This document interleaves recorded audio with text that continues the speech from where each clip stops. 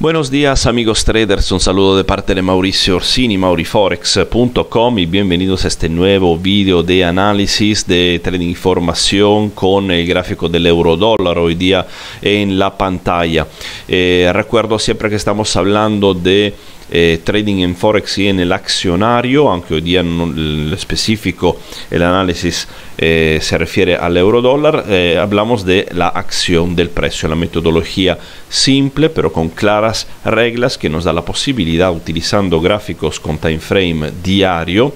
de hacer un trading desnudo, entre comillas, sin indicadores, osciladores, así como lo explico en mis videos cada día de mi servicio amigos del Forex, justamente por eso lo los invito a mm, darle una mirada a mi eh, sitio mauriforex.com eh, porque además de la explicación de mi historia como trader profesional desde 20 años pueden ver en la página análisis mercados el funcionamiento, las informaciones sobre mi servicio diario. Yo realizo todos los días un video de trading y formación donde explico eh, mi operativa real, mis operaciones, mis entradas, la gestión de los trades, las nuevas oportunidades de trading. Entonces, eh, si gusta aprender este tipo de trabajo, trabajar seriamente en el mercado forex y accionario, pueden eh, tener esta oportunidad de ser parte de mi comunidad de traders y además, si todavía no lo hicieron, pueden utilizar también un mes totalmente gratis de vídeos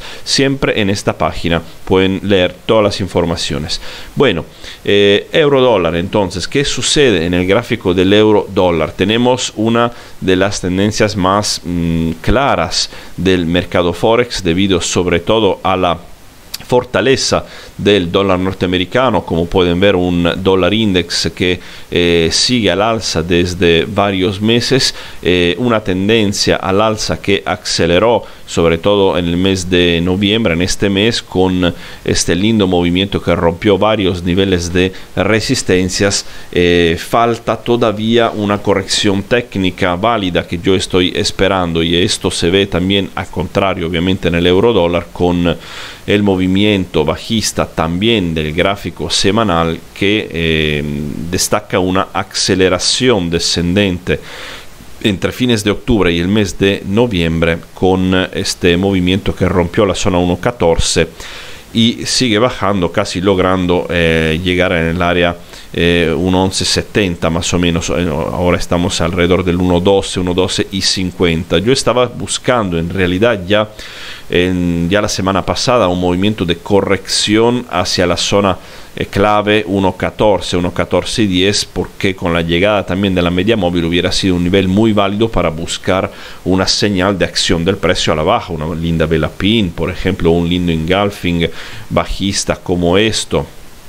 por ejemplo, eh, solo que no tuvimos un movimiento de corrección, sino un comienzo, digamos, pero no fue confirmado. Y entonces eh, yo sigo esperando, si será posible, obviamente, este eh, rebote mm, del precio por tener la posibilidad de vender a un nivel de precio mejor. Como saben,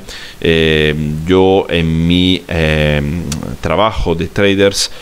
no simplemente busco una señal de trading que sea válida desde un punto de vista técnico, sino también económico y también correlativo. Busco señales de calidad para abrir una posición. Entonces no quiero vender el euro dólar en este nivel del precio, por lo menos no ahora. Eh, quiero vender a un precio más alto porque mi objetivo es vender a un precio más, alto posible, como cuando compro. Eh, intento comprar a un precio más bajo posible. Entonces, en este caso, esta zona, además de ser demasiado cerca a un posible target de llegada de la cotización, es una zona mm, no muy válida desde un punto de vista de relación riesgo-retorno. Entonces, quisiera ver un movimiento por lo menos en área 1.1350, 1.1370. Si esto no